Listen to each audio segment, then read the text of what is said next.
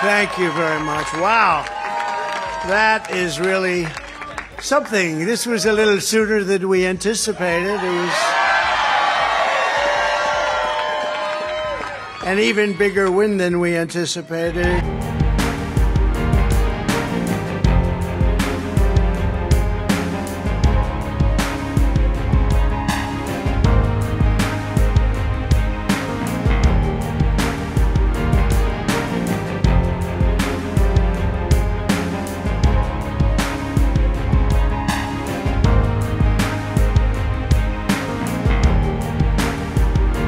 And we're going to be up here on November 5th, and we're going to look at Joe Biden, and we're going to look him right in the eye. He's destroying our country, and we're going to say, Joe, you're fired. Get out. Get out, Joe. You're fired.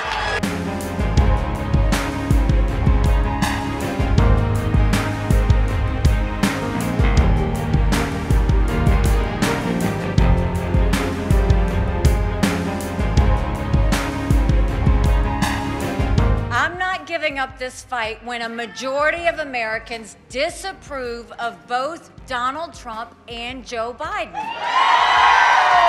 I said earlier this week that no matter what happens in South Carolina, I would continue to run for president.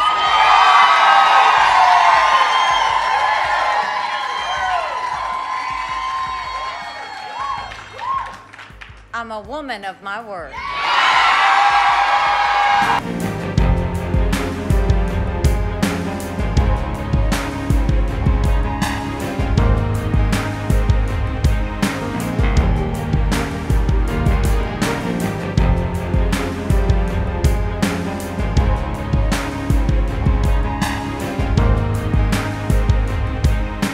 Vote for Trump is your ticket back to freedom. It's your passport out of tyranny.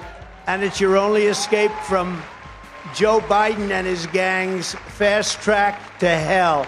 And in many ways, we're living in hell right now.